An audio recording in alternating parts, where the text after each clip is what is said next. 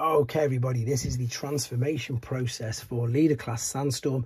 This particular phase is the buggy to robot mode. So if you've got any of the accessories that we've attached, you can take these off right now. If these aren't attached, you obviously don't need to worry about this. This is just going to be the transformation process for this particular phase. I'm uploading all the phases um, individually because obviously there's so many um, different phases to do with this particular figure. So you can take out the roll cage. Sometimes it lifts off the back of that, which is fine. And then you can take that part off as well. Right, you've got basic figure here now. So let's start to do the work. Let's fold this up before we forget to take this bit and disconnect the arm from this front tab here, like so. Do the same on this side, disconnect that, take the roof and then fold it up like so bring this up keep this out actually. I've just had a look at that in there. Keep this out and then take this part separate from there. Pull this forward enough for you to get the head out.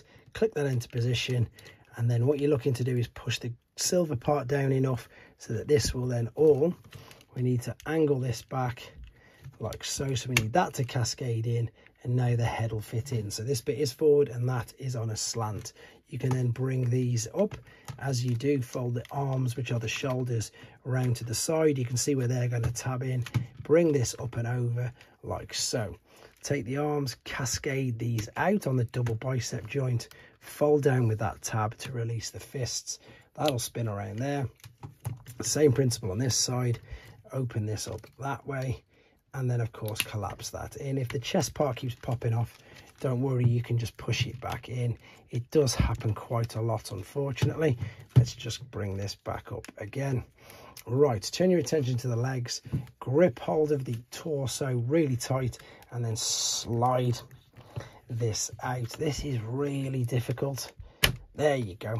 A lot of force needed to be honest. Then you can fold these back up fold these up separate them separate the heel spring from the toes like so. Same principle on this separate the heel spring.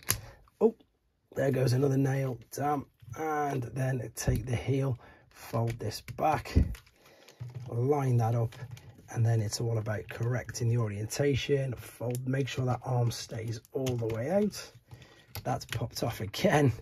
And that is pretty much what you need to getting back to robot mode. As I say, all the other steps are separately uploaded. Hope this helps you out. Take care.